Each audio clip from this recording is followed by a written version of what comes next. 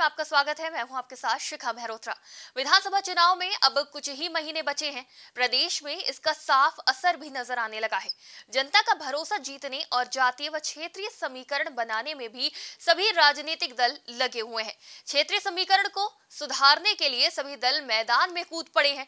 लगातार सक्रिय चल रही सभी दलों की चुनावी रैली भी जोरों शोरों से जारी है। भाजपा, कांग्रेस सपा सहित छोटे दल चुनावी मैदान में अपनी ताकत झोंकने में लगे हुए हैं। चुनाव को लेकर जनता का मूड क्या है, ये जानने के लिए प्राइम टीवी की टीम भी मैदान में आ गई है। देखिए हमारी इस खास रिपोर्ट में।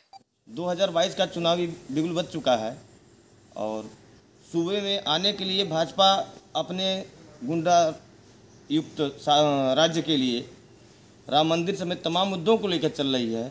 वहीं विरोधी पार्टियाँ महँगाई सहित कई अन्य कई अन्य मुद्दों पर घेर रही हैं। हम जानते हैं कि यहाँ पे देखते हैं युवा वर्ग के लोग मौजूद हैं। इनसे जानने का प्रयास करते हैं किस बार किसको वोटिंग करेंगे किसका माहौल है इनसे जान जानने का प्रयास कर रहे हैं। आपका नाम? पवन सिंह।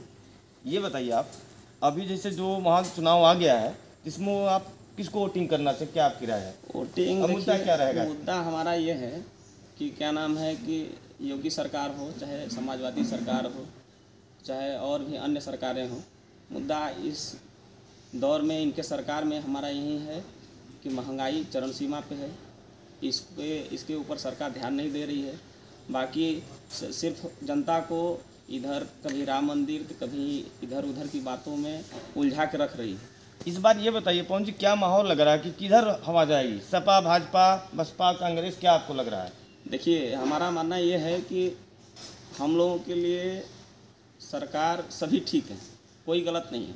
अपने अपने जगह पे हर सरकारों को जिनकी भी सरकार बने हर लोग को ध्यान देना चाहिए कि हमारी जनता के बीच क्या है हमारी जनता को किस चीज़ की ज़रूरत है सम महँगाई है तो उससे मीडियम वर्ग के लोग कितने अ, मारे जा रहे हैं त्रस्त हैं। अ, सरकार सिर्फ़ ये सरकार सिर्फ़ अमीरों पे और गरीबों पे ध्यान दे रही है। तो ये बताइए कि मीडियम वर्ग के युवा और मीडियम वर्ग के लोग मीडियम वर्ग की जनता कहाँ गई? ये बताइए आपका शुभ नाम? प्रदीप कुमार चौरसिया। क्या करते हैं? पान दुकान है। क्या माहौल लग रहा है? चुनाव आ गया है और योगी जी के कार्यकाल के समय पूरे होने क्या आपको लगता है? तो जी का कार्यकाल तो बढ़िया चल रहा है इसमें कोई बात नहीं क्या इस बार लगता है फिर योगी जी की सरकार आएगी? हाँ आ गई लेकिन महँगाई की वजह से बहुत लोग बोल रहे हैं कि नहीं इसमें अच्छा ही सरकार नहीं चल रही है। कुछ लोग का कहना है कि सही है कुछ लोग का कहना है कि गलत है। महँगाई को लेकर के इससे बहुत ग्रसित हो जाता है आपका? सदर हुसैन। ये बताइए चुनाव आ गया है। इस बार किसकी हवा है किसको आप जिताना चाहते हैं क्या मुद्दा है? आपको क्या लग रहा है? बोलिए बोलिए। हमको ये लग रहा है कि सरकार कोई भी हो उससे कोई दिक्कत नहीं है। लेकिन मेन समस्या है कि बेरोजगारी की समस्या। ये लॉकडाउन लॉकडाउन की वजह से लोग बेरोजगार हुए। उसके बावजूद भी इधर इधर डीजल पेट्रोल के महँगाई की वजह से लोग गरीब लोग किसान लोग बहुत परेशान हुए। और अभी दिन ब दिन बेरोजगारी की समस्या बढ़ती जा रही है। पेट्रोल डीजल सरसों का बस तेल। मुद्दा है कि सरकार ध्यान नहीं दे रही। तो इस बार ऐसा सरकार बनाया जाए जिससे कि मतलब लोगों को कोई दिक्कत नहीं जब दुद्धी विधानसभा के कई क्षेत्रों में सर्वे किया गया तो पता यही चला कि लोग गवर्नमेंट से तो संतुष्ट हैं लेकिन महँगाई महँगाई से हर व्यक्ति संतुष्ट नज़र नहीं आ रहा। महँगाई और बेरोजगारी का मुद्दा लोगों के अंदर देखकर काफ़ी आक्रोश नज़र आ रहा है। Ravindra Pandey prime TV Sonbhadra.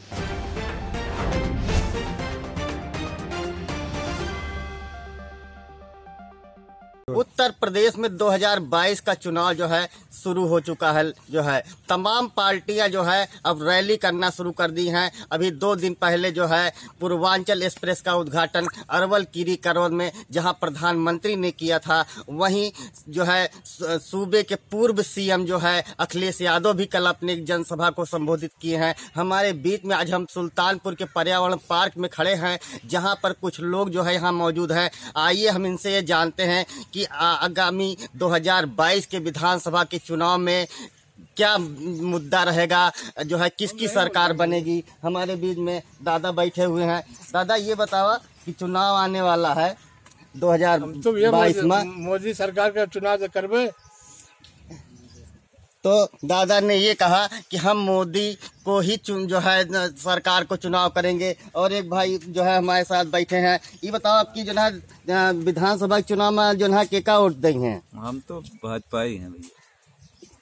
तो ये भाजपाई हैं ये भार कह रहे कि हम हम भाजपा को ही वोट करेंगे।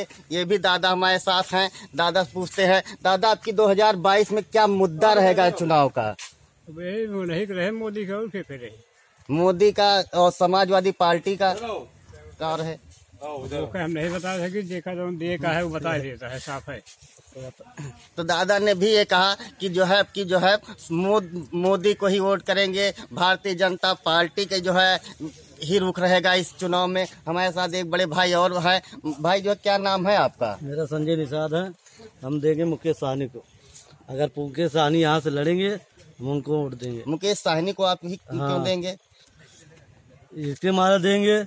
तब फिर आ रहे हैं तो जो है इनका फुलन देवी का वो मूर्ति नहीं लगवाने देते हैं लोग का क्यों नहीं? सबका मूर्ति लगता है उनका क्यों नहीं लगता है? वो भी तो कुछ करके गई हैं।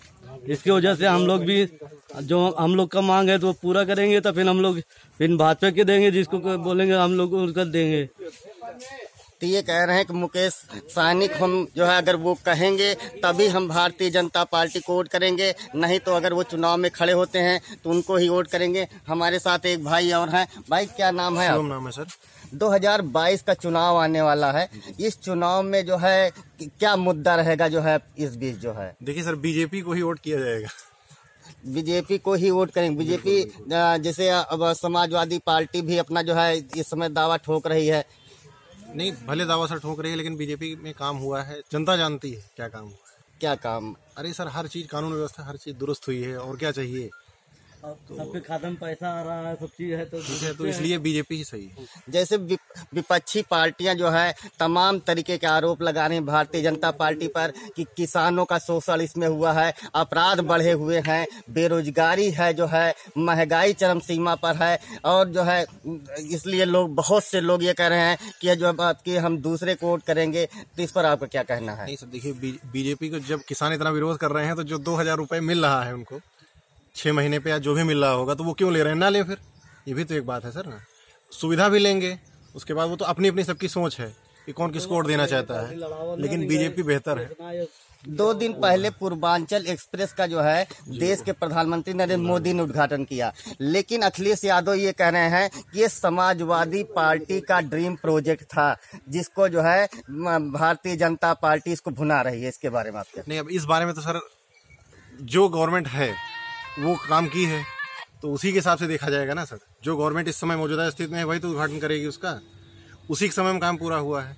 तो हमारा तो यही मानना है शिलान्यास होने से तो आपने देखा कि हमने तमाम लोगों से इस बारे में जानकारी की लेकिन उनका यही कहना है कि हम भारतीय जनता पार्टी को ही वोट करेंगे। क्या नाम है भैया आपका? दिनेश चौरसिया आगामी विधानसभा का चुनाव आने वाला है। तमाम पार्टियाँ अपनी जो है सरगर्मियाँ तेज कर दी हैं। करने दीजिए उससे कोई दिक्कत नहीं है योगी जी आएँगे फिर दोबारा।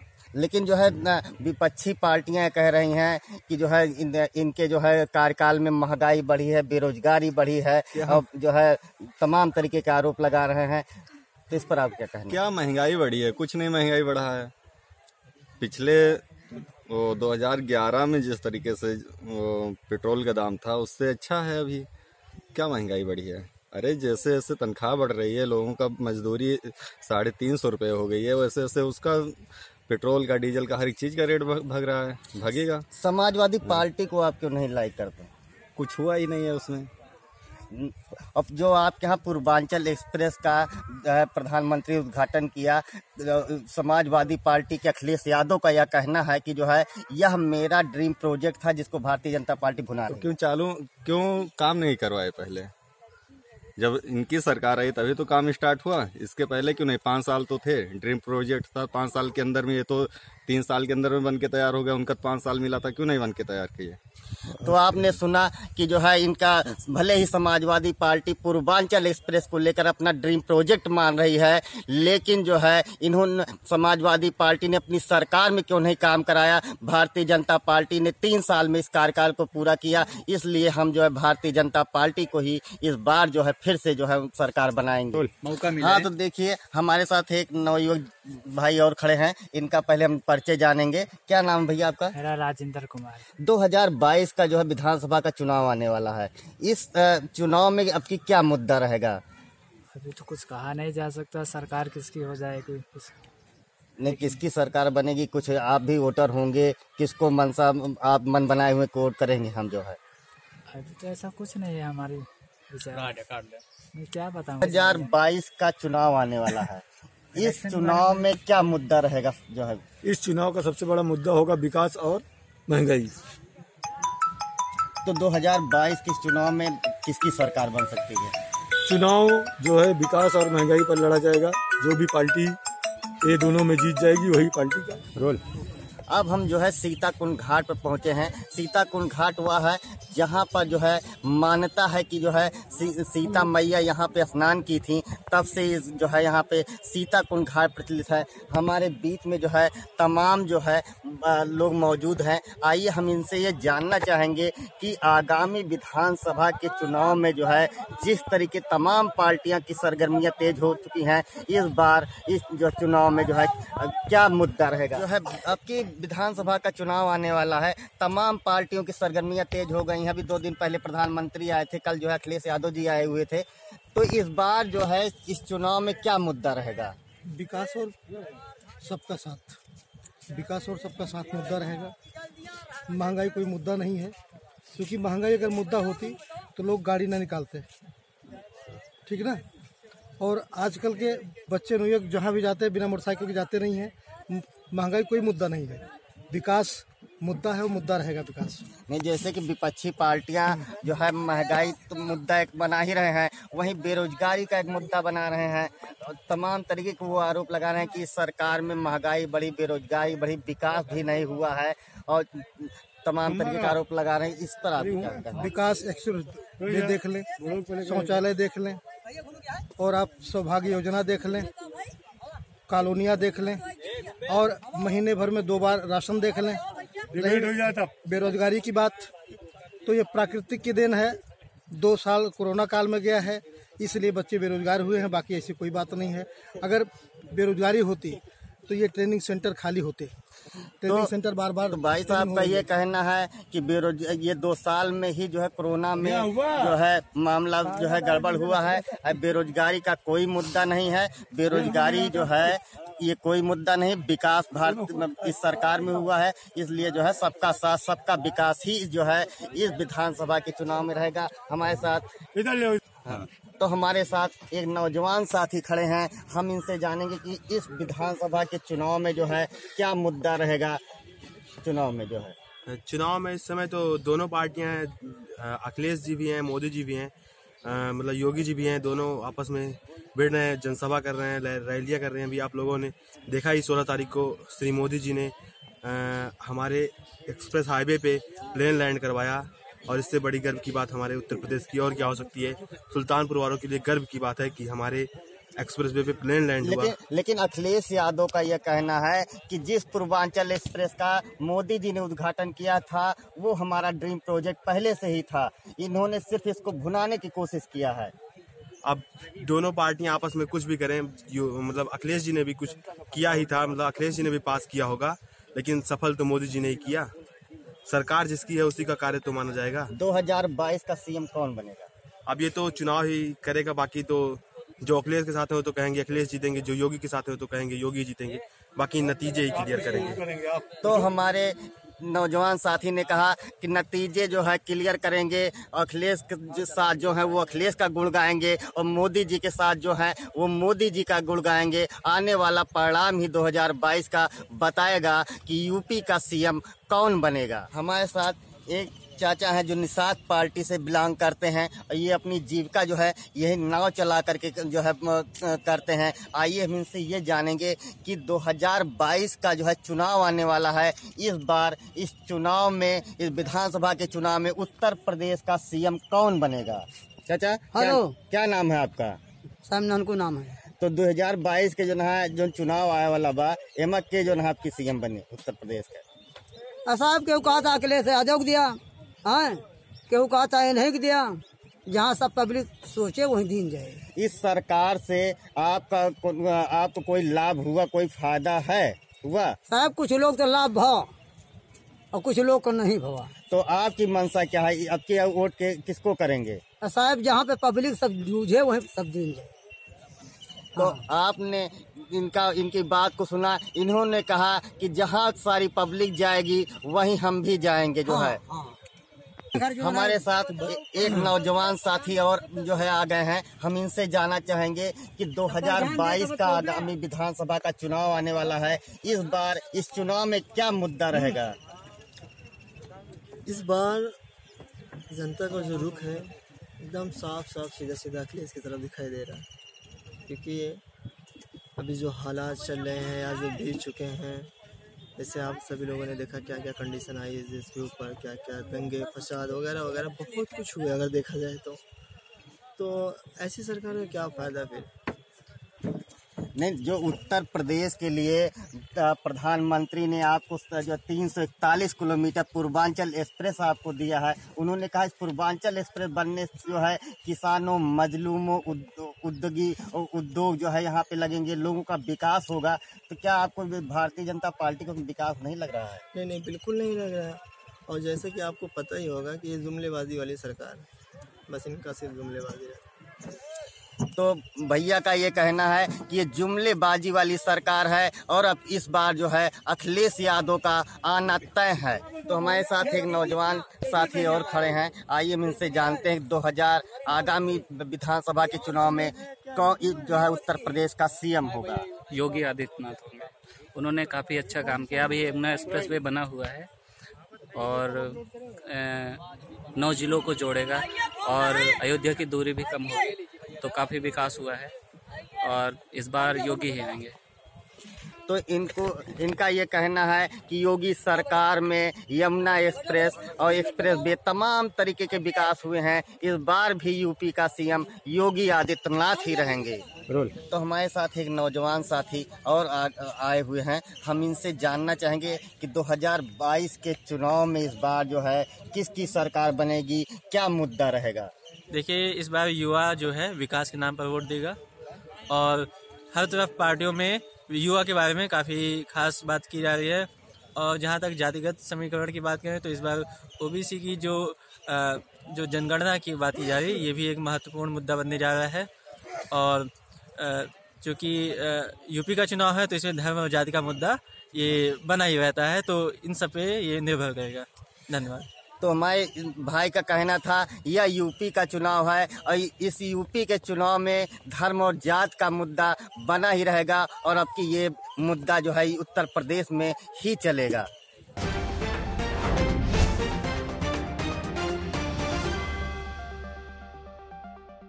नमस्कार, आज हम जुड़े हैं बांदा ज़िले की पब्लिक से। आज हम 2022 के विधानसभा होने वाले चुनाव के बारे में पूछेंगे पब्लिक की क्या राय है। क्या नाम है आपका? जी मेरा नाम निर्गम कुमार है। कहाँ के रहने वाले हैं? मैं खाई पार्क बांदा का रहने वाला हूँ। तो 2022 के आने वाले चुनाव में जो तैयारियाँ हैं उसके बारे में आपकी क्या राय है? मैं यही कहना चाहता हूँ दो हज़ार बाईस की जो तैयारियाँ हैं काफ़ी सही हो रही हैं। और जो हमारे ये योगी जी हैं वो भी जो है काफ़ी बढ़िया उन्होंने काम किया है चीज़ जो है। काफ़ी उन लोगों ने लोगों की जो है हेल्प की मदद की क्या चाहते हैं आप सरकार में किस सरकार को चाहते हैं 2022 में? हम यही चाहते हैं कि योगी जी की ही सरकार आए। योगी जी। योगी जी की क्या कुछ जो है जो महँगाई के पक्ष के बारे में कुछ लोगों ने बताया कि महँगाई के बारे में कुछ नहीं कर रहे हैं इसमें आपकी क्या राय है? हम मैं यही कहना चाहूँगा कि महँगाई के लिए वो ज़्यादातर ख्याल करें जो है काफ़ी महंगाइयाँ हो गई हैं। तुम भी आओ, तुम भी आओ, तुम भी आओ। चलो, लोगों चलो, के प्रति जो है वो भी समझें कि। गरीबी हर चीज़ जो है कैसे तुम भी जो सरकार के बारे में जो बोलना चाहो मन की बात। सामानों के दाम बढ़ रहे हैं? बोलो ना यार खड़े हो जाओ तुम भी। अरे पागल तो बोल बोलने से कहा जा रहा सरकार संतुष्ट हैं। जी फ़िलहाल जो है अगर आगे से अगर सरकार जो है हम लोगों के प्रति जो है अच्छा काम करेगी तो हम संतुष्ट रहेंगे लेकिन थोड़ा ध्यान दे पब्लिक के ऊपर। यही चाहिए। ये थी पब्लिक की जो है राय 2022 के आगामी चुनाव के लिए। मेरा नाम सुशील कुमार। सुशील कुमार जी चुनावी साल है 2022 आप किस पार्टी को समर्थन देना चाहेंगे और कैसा आपकी क्या राय है? देखिए हमारी राय तो यही है जो आने वाली सरकार है वो जनता के लिए कुछ अच्छा करे बेहतर करने का प्रयास करें। और अभी तक जो सरकार ने काम किया है उसके वजह से काफ़ी जनता को ग्रामीण एरिया में दिक्कतें हुई हैं। इसकी वजह से आगे आगामी चुनाव में जो सरकार बने दिक्कतें आई हैं? दिक्कतें जैसे किसी को यहाँ पे कोरोना की वजह से काफ़ी दिक्कतें हुई हैं। यही सारी प्रॉब्लम्स हुई हैं काफ़ी दिक्कतें आई हैं। अच्छा आपके क्या मुद्दे होंगे चुनाव को लेकर कि किन मुद्दों को लेकर आप विधायक चुनेंगे अपना? देखिए हमारा मुद्दा यही है कि जो भी विधायक बने वो अपने क्षेत्र में विकास करें और जनता के साथ बढ़िया अच्छा बर्ताव करें। तरीके का विकास चाहते हैं अपने क्षेत्र में? बेहतर चाहते हैं कि आगाम आने वाले कल में भी कोई भी विधायक बने तो वो जनता के लिए बेहतर करना करें जिसके जनता उसे फिर दोबारा मौका दें। क्या पिछले विधायक ने अपने कार्यकाल में काम नहीं कराया है? जी काम तो सभी विधायकों ने किया है पर कुछ अलग करने की भी ज़रूरत है। जिससे कि मुख्यमंत्री आप किसको देखना चाहते हैं? किसको मुख्यमंत्री का चेहरा मानते हैं? मुख्यमंत्री के बारे में तो देखिए यही हम सवाल करना चाहते हैं कि हमारे यूपी में तो अखिलेश यादव जी ज़्यादा थोड़ा सा सक्सेस रहे हैं और उन्हीं का हम समर्थन कर रहे हैं। जगरूप सेन। जगरूप सेन जी आप कहाँ के रहने वाले हैं और साल 2022 चुनावी साल है? किस तरीके का आप मुख्यमंत्री चुनना चाहेंगे? मुख्यमंत्री अब हम यही चुनेंगे जो अब चल रहा है। योगी आदित्यनाथ जी जी, हैं हाँ। इन्हीं को चुनना चाहेंगे। जी। क्या अहम मुद्दे हैं आपके चुनाव को लेकर? मुद्दे हमारे हिसाब से सब सही चल रहा है। सब सही चल रहा है। शहर में विकास हो गया। बढ़िया विकास गड्ढा मुक्त हो गई रोडें। जी। शिक्षा व्यवस्था सही हो गई। सब सही। मतलब मुख्यमंत्री जी का चेहरा आप योगी जी को दोबारा देखना चाहेंगे? दोबारा देखना चाहते हैं। किस तरीके का विकास किया है मुख्यमंत्री जी ने? हमारे क्षेत्र में। हमारे हिसाब से सब विकास सही है। आपके क्षेत्र में क्या क्या विकास किया है? कॉलोनियाँ हैं। घर घर से ले नर कम से कम दो तीन साल से पूरा परिवार चला रहा है। अब कौन सुविधा मिला है? हाँ जी।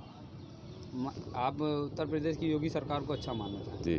कित, कितने परसेंट अच्छा मानते हैं आप उनको? हम सौ में अंठानवे तो मन है सही। अच्छा अंठानवे हाँ, परसेंट सही हाँ। मानते हैं। मेरा नाम अभिनव चौधरी है। अभिनव चौधरी जी आप कहाँ रहते हैं? मैं यहीं पर रहता हूँ डिग्री कॉलेज के बगल में। अब 2022 चुनावी साल है और किस तरीके से सारी पार्टियों ने जिस तरीके प्रचार में निकलना चाहते आप किस पार्टी का समर्थन करते हैं और कैसी सरकार चाहते हैं? सरकार तो ये अच्छी है लेकिन ये सरकार क्या बोलते हैं कि रोज़गार नहीं दे रही है। और हमें चाहिए कि रोज़गार आए तो हम इस सरकार को हटाना चाहेंगे। कैसे सर- सरकार को किस तरीके की सरकार चाहते हैं और क्या मुद्दे हैं आपके? हमें सरकार ऐसी चाहिए कि हमको रोज़गार मिले और लोगों को केवल ये अंधविश्वास और बस ये पाखंडवाद फैलाती है और कुछ करती नहीं है सरकार ये। और हमें केवल रोज़गार चाहिए क्योंकि हम युवा हैं और हमें नौकरी नहीं मिल रही है। अच्छा नौकरी नहीं मिल रही जी। जैसे कि आपके क्षेत्र में रोड और स्वास्थ्य को लेकर क्या सुविधाएँ सारी उपलब्ध हो चुकी हैं? कोई हमें इससे फ़ायदा नहीं मिला थोड़ी बहुत मुक्त हो चुकी है? कुछ नहीं मुक्त हुई है ना गड्ढा मुक्त हुई है ना कुछ हुई है। अब आप कैसी सरकार को किसको मुख्यमंत्री का चेहरा देखना चाहते हैं? हम मुख्यमंत्री का चेहरा देखना चाहते हैं अखिलेश यादव या मायावती को? दो में से एक आप कुछ बताना चाहेंगे? हाँ अखिलेश यादव जी आ जाए तो ज़्यादा सही रहे। जनता का क्या मूड है और किसकी सरकार आने वाली है? लेकिन ये तो जनता का मूड है और आगे कुछ भी हो सकता है, कई बदलाव हो सकते हैं और ये चुनाव के बाद ही पता चलेगा कि इसमें क्या बदलाव होने वाला है। फ़िलहाल इस रिपोर्ट में इतना ही, आप देखते रहिए प्राइम टीवी